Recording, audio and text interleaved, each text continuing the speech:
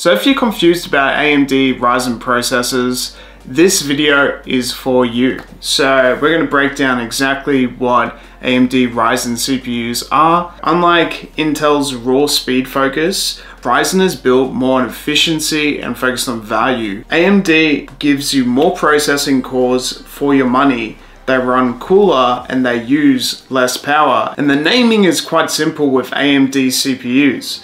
So the first letter tells you the performance level. So you got Ryzen 3 and that's for basic PCs. You got Ryzen 5, that's a sweet spot for budget gaming. Then we have Ryzen 7, which is more for that high end and streaming. Now you gotta look for the letters also. So if you see an X, it means that it has high performance outside of the box. And the final choice is the motherboard. AMD uses sockets called AM5.